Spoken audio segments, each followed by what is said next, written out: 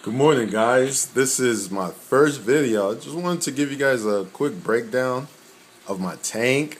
Uh, it's pretty awesome. It's about 30 days. I got a bird nest. Uh, oh, you're not camera shy, huh? You want to stand in front of the camera and show everybody. And he's off.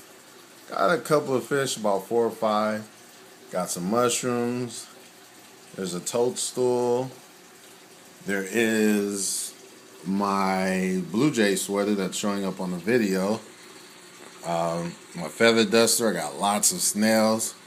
Uh, I got diatoms so far on my sand. From what I'm understanding, and I'm if I'm wrong, please you know comment about it. There's a frog spawn, some candy corals. Diatoms are living organism organisms. Sorry, I said orgasm. Sorry if any females get offended or organisms that grow on top of your sand bed. So they're almost like living creatures.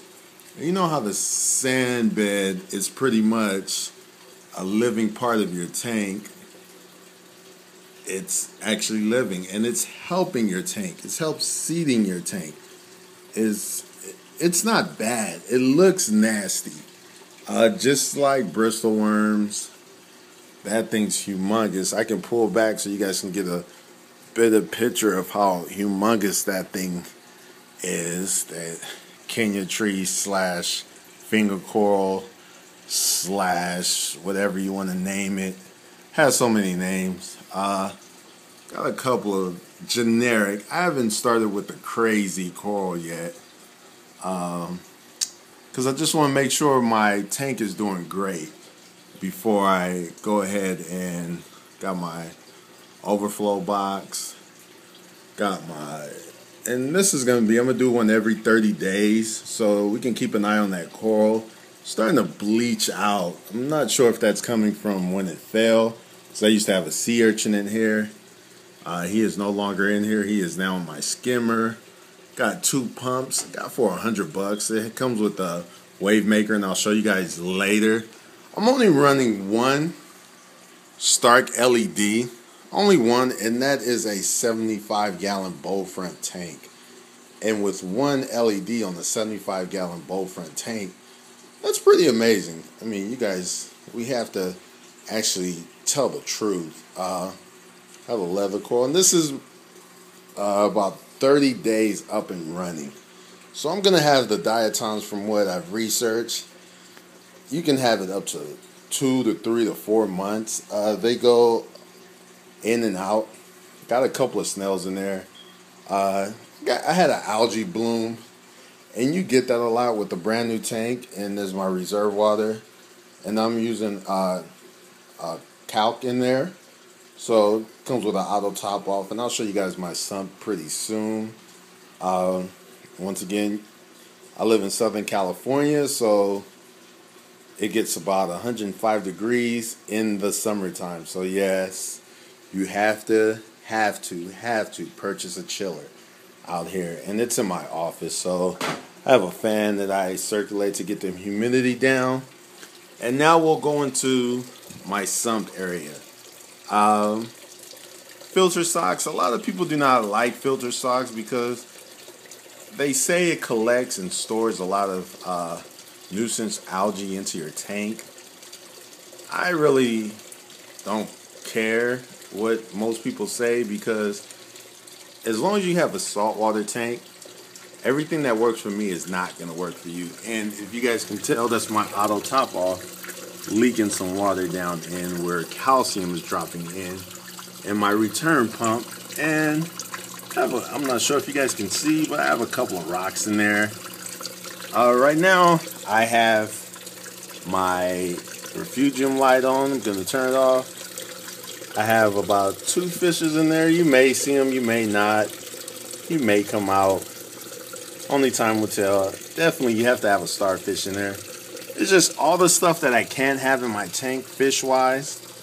I need to do something about my cords. I am thinking, truthfully, about getting uh, uh, there he goes. See, he's swimming. And then I'm using refugium mud.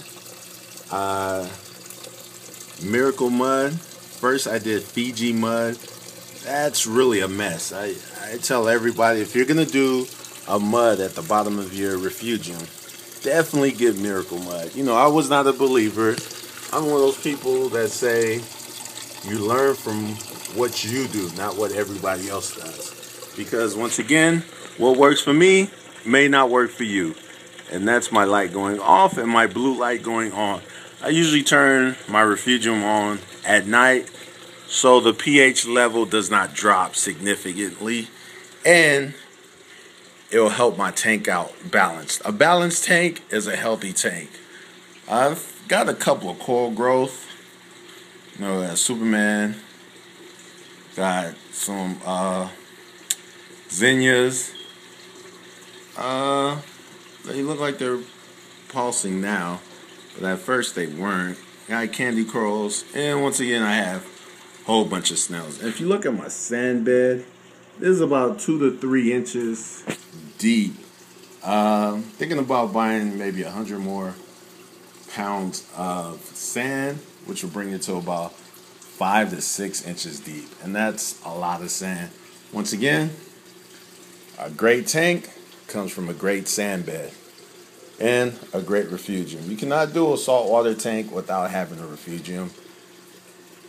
You can, once again, because then I'll be contradicting what I said earlier about, you know, doing, being like the Joneses and that's not typically true. Uh, now I'll give you guys a close up of all my coral, and 30 days later I'll come in and update it so you guys can see where my coral coral growth is.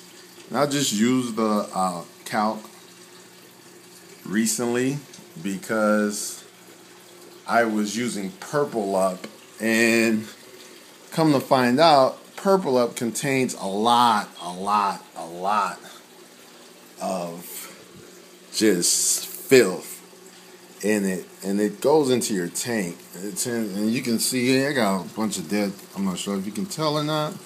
There's a bunch of dead snails back there, you know, because maybe they're fighting for shells. I have a lot of hermit crabs, have no cover, so it's just blowing and have a lot of water flow.